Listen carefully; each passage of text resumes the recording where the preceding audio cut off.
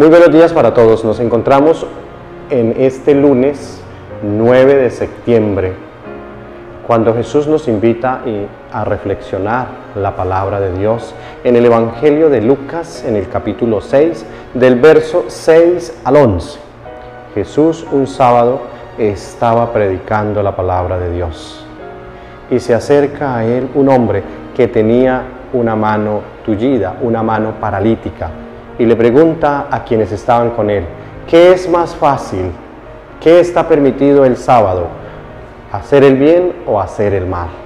Pues Jesús dice que está permitido hacer el bien y por eso coloca a este hombre en medio de la asamblea y le cura su mano paralítica, le cura su brazo tullido.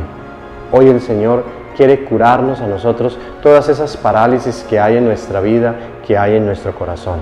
Y en esta semana que oramos por la paz del mundo, que hacemos diferentes acciones en nuestras parroquias, en nuestras comunidades, trabajando por la paz que hay en nuestro corazón, que necesitamos que Jesús nos cure, que necesitamos que Jesús nos sane, porque en muchas ocasiones estamos como los fariseos, aquellos que están al acecho, que están mirando qué es lo que hace Jesús para acusarlo, para condenarlo, para crucificarlo.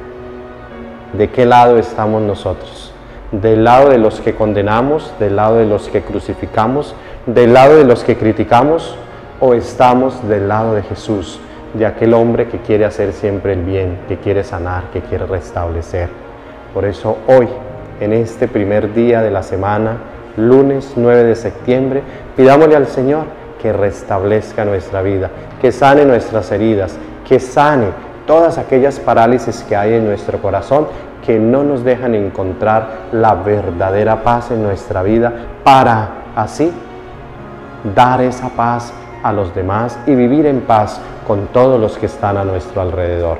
No se nos olvide orar por la paz durante estos días de esta semana que vamos a estar trabajando y orando por la paz en el mundo. Amén.